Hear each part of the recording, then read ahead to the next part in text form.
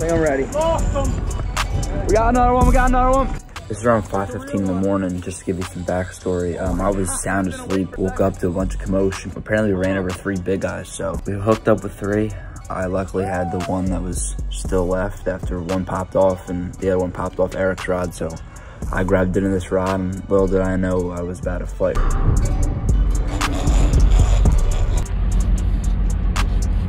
Oh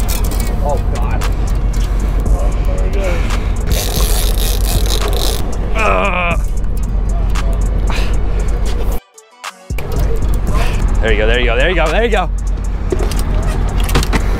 Yeah, baby. Got him. We got him, baby. yeah, baby. Woo! Right out of my That's a turkey, baby. Look at that, man.